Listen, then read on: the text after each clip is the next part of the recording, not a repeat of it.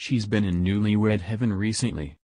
And Hailey Baldwin proved on trend as she posted a sweet snap of herself planting a kiss on husband Justin Bieber via Instagram on Tuesday. The 22-year-old supermodel looked loved up in the black and white photo as she wrapped her arms around the pop superstar and captioned it, My love. The young gorgeous couple looked every inch the besotted pair as they lay on a couch together with the sorry singer in a quirky graphic shirt. Hailey also posted an adorable snap of herself with two female friends and captured it, rang in the new year with these lovely ladies. The social media shares come as Justin finally revealed his face tattoo.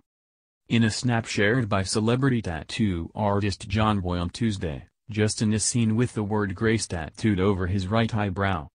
And fans were pleased to have been let in on this secret since the singer has been keeping it under wraps since November.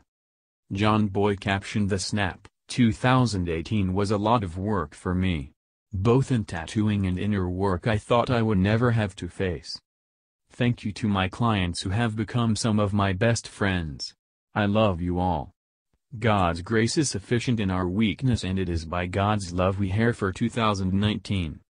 However, back in November, the new design was claimed by celebrity tattoo artist To The Stars Bang Bang, also known as Keith McCurdy, according to Page 6 TV. The source said the new tat was part of a couple's tattoo Bang Bang did for the sorry singer and his new wife Hailey. Despite admitting that her was behind the new designs, McCurdy opted not to divulge details about the design, its significance or where Justin's wife Hailey placed her tattoo. They each got a tattoo, the veteran artist told the publication, Justin's tattoo is on his face, and I haven't seen any photos of it, so he's doing a good job of laying low.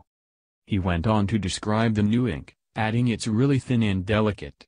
And, it's, also not a traditional couple's tattoo.